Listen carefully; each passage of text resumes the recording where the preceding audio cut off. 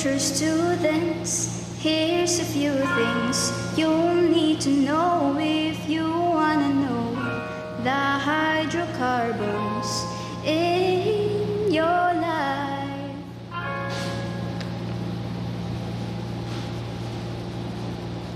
Take them on the side hydrocarbons. And don't forget to teach the different groups of it Cause if you teach them out, they know everything about Open chain compound and close, close chain compound.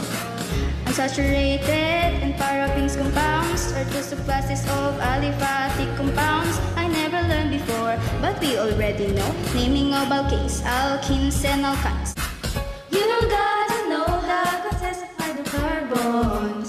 Even properties and uses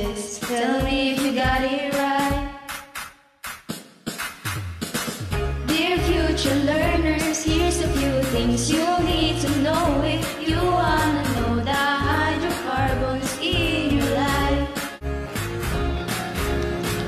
Dear future chemists, if you wanna get a higher grade, tell me everything you learn in these compounds.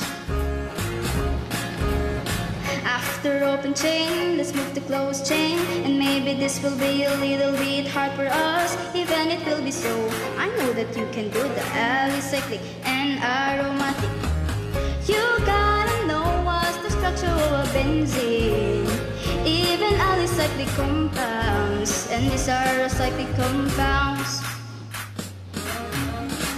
Dear future learners, here's a few things you need to know